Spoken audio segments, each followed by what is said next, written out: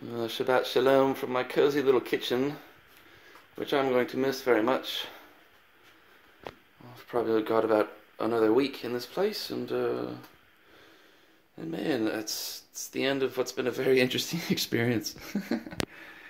but it is the Sabbath today, and um, thankfully Harry's got someone else milking this weekend, and uh, I can get some rest from my foot, which is very much needed past two weeks it's just been a growing concern day in and day out and uh, oh I just want to be strong and be well again. Um, today I think is going to be a great day to have a psilocybin experience. That's the idea and it's kind of the last opportunity to do it down here so um, yeah I think why not? Good chance to go within and to uh, meditate and get some more clear bearings on the, the next way to go forward in life.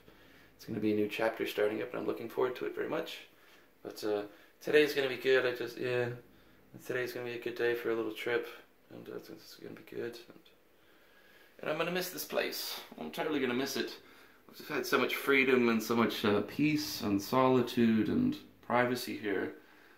it's, it's been quite good. Shabbat Shalom.